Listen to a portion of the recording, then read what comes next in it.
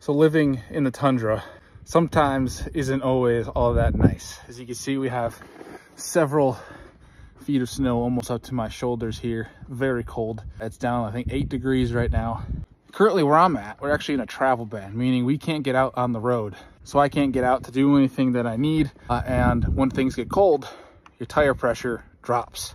And so usually you find a gas station, something like that. But thankfully, to this tool from X2 Power, I'm able to click of a button, inflate my tires.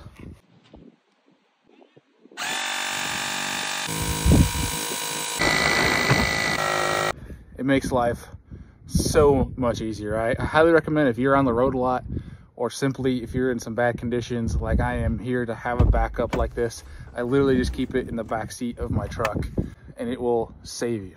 So check them out at x2powerbattery.com.